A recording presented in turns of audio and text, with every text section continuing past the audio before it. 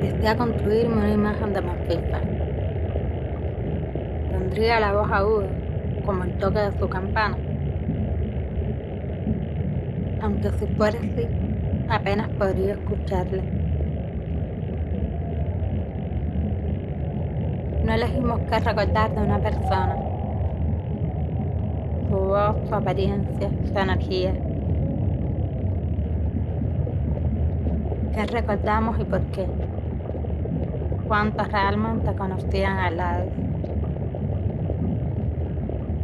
Cuando filmo a los otros me olvido de mí.